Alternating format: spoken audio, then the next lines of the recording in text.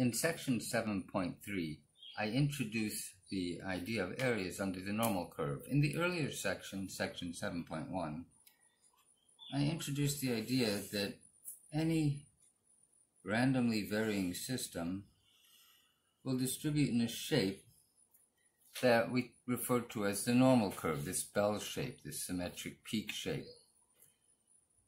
The normal curve centers on it centers on the population mean mu. The population mean mu.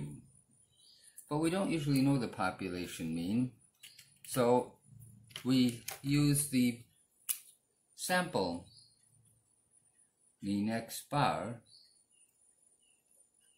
as a point estimate a point estimate of the population mean.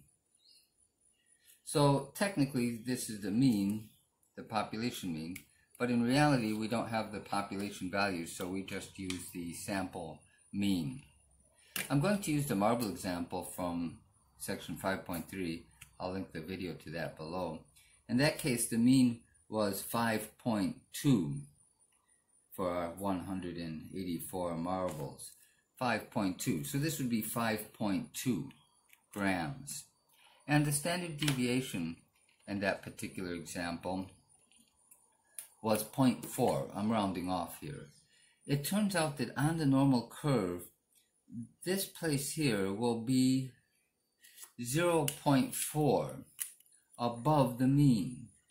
This will be the sample standard, one sample standard deviation above the mean. So this will be 5.2 plus 0.4.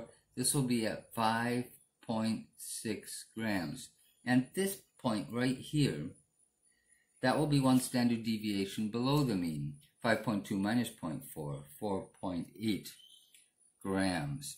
These two places are referred to as inflection points. They are where the curve goes from a if you will permit me, a frowny face to a half of a smiley face. These changes in direction are called inflection points. It's half of a smiley. And they occur at minus one standard deviation and plus one standard deviation above and below the mean. So it's the distance that's 0.4 standard deviations above and 0.4 below the mean, which is at the center of the, of the curve for a randomly varying system. Now, you might recall that this is really a line chart version of a histogram that had columns, and each column had a height equal to the relative frequency. And so and when I added these up, they added up to the to one, the total probability. That's still true. I no longer have columns, I have a line chart version of the histogram. But if I could add up the columns underneath this curve, they would add up to the probability. That is, if I knew what the columns were between 4.8 and 5.6, the columns we no longer see, I could tell you the probability that data is between those two values. The area under the curve, as we say, is the probability. And this has been worked out for us actually. The normal curve actually has a very mathematically predictable shape. So it turns out that between one standard deviation below the mean, so I'm going to write this as a sample mean minus one standard deviation, sample standard deviation. But we'll later have to make an adjustment in the curve because this is really the population mean minus one population standard deviation here. Uh, but we don't know those. And the adjustment we'll have to make is for uh, the sample standard deviation. We'll have to use a modified normal distribution known as a t-distribution. But we'll tackle that later. This area right here is just 0.34. 34% of the data is in that area. Another 34% of the data is in on this side. over here. 34% of the area is over here. Together, that means that 68% of the data is between here and here. We have 68% of the data should be between here and here, 0.68. If I go out one more standard deviation, say I go up another plus 0.04, and I go down another 0.04, this place here, and I'll, I'll mark it in sample value. Sample mean plus two stand, sample standard deviations, and the sample mean minus two standard deviations. For statisticians who are upset right now, I'll later on use the t-distribution, which looks like this, but a, a little bit flatter, if you will.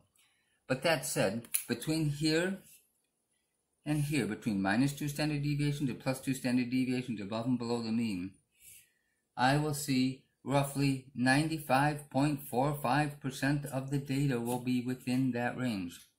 Beyond that, out here, this is the right tail, I would expect about 2.5% of the data out there, roughly.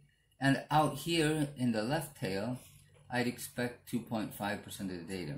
What this will let us do is determine whether a data value is likely to be from this distribution or not. If somebody says, I've got a marble of 5.1, is that likely to be in this distribution? Yes, 5.1 is right in here.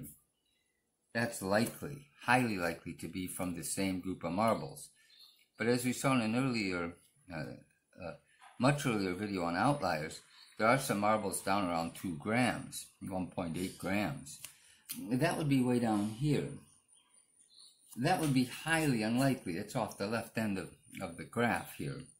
Uh, that would not be a likely value. It must be a very different marble, and we saw that it was. It's one of these little uh, Sinai or Sinsai marbles, these tiny little marbles.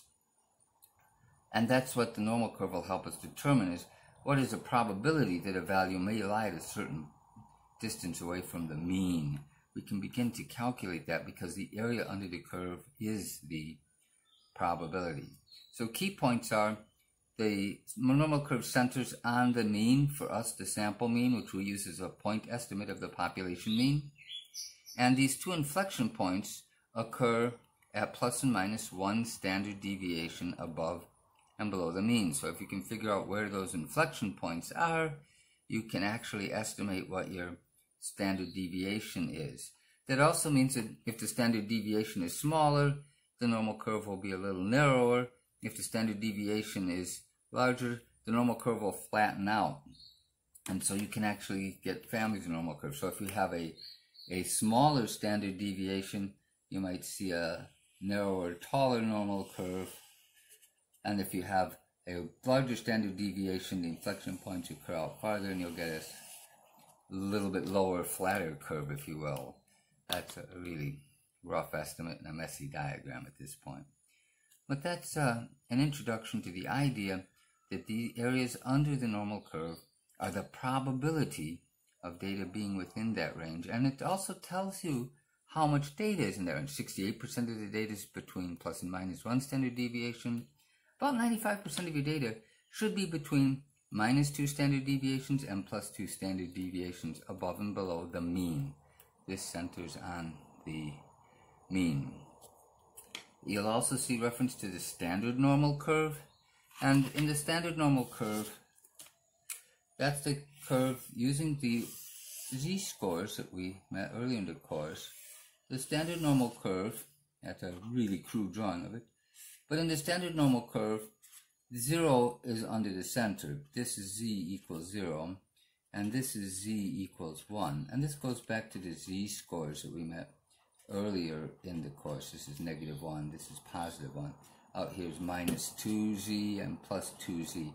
Remember, the z-scores were just the number of standard deviations you are above the mean. So if you hear reference to the standard normal curve, you're talking about transforming your data into z-scores and then plotting the normal curve. Uh, but that's uh, that's not going to be as useful to us in this particular course. But if you do see reference to that, that's what they're talking about, converting to z-scores and then working out areas. This used to be a way we looked up values in tables.